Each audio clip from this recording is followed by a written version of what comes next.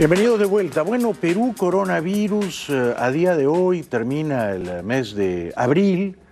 Perú lleva ya seis semanas eh, continuadas de una muy estricta, muy severa cuarentena.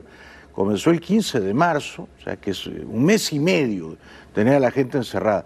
Estos son los números oficiales, casi 40 mil contagios, o sea, gente que ha pasado un examen ¿no? y que le han dicho sí tienes el coronavirus y poco más de mil fatalidades.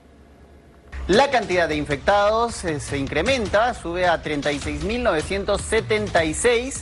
El número de fallecidos lamentablemente ya superó los 1.000. Se trata de 1.051 personas que tenemos que lamentar la pérdida en nuestro país. Hay 4.978 hospitalizados y 651 eh, personas se encuentran en la unidad de cuidados intensivos. Las altas han incrementado también, se trata de 10.405 altas casi 37 mil infectados, poco más de mil fallecidos. Si esto se compara con el resto de los países de América del Sur, Perú no está muy bien, y lo dice el New York Times hoy. Si se compara con Brasil, bueno, Perú no está tan mal, ¿no? ¿Por qué? Porque Brasil tiene a hoy 85 mil infectados, más del doble que Perú, que tiene casi 37 mil y Brasil tiene 6.000 muertos, seis veces más que Perú. También es cierto que hay reporteros serios en Perú diciendo que la cifra oficial de muertos por coronavirus es mentirosa y está manipulada, porque los muertos son como mínimo el doble de los que reporta el gobierno. Puede ser, puede que no sean mil, puede que sean dos mil, pero en Ecuador son seis mil o siete mil.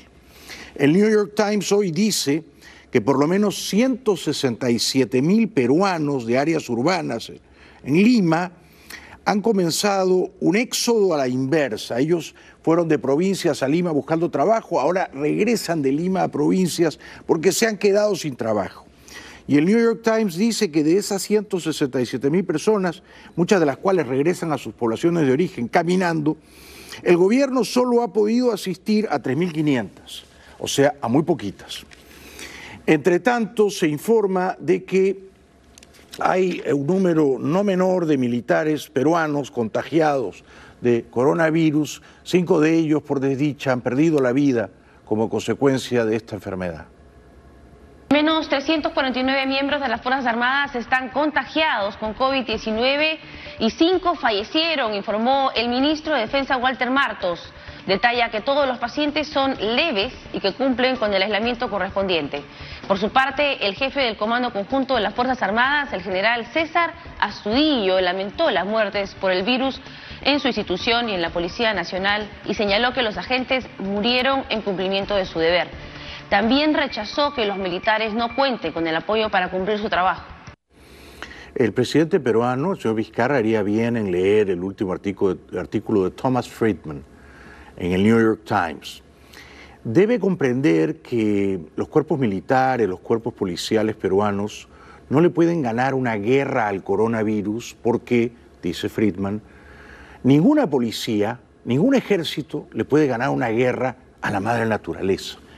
Es decir, el presidente peruano tiene que entender que como no se le puede ganar una guerra al coronavirus, hay que adaptarse sabia, sagazmente, a la naturaleza, en este caso al virus, aprendiendo a convivir con él, dejando que la gente salga por fin de esta cuarentena interminable, si acaso el domingo 10 de mayo, Día de la Madre, y aprenda a cuidarse sin interrumpir de un modo que parece espeso e infinito la vida, el ritmo, la fiebre, de los individuos, sus deseos de vivir, trabajar y prosperar.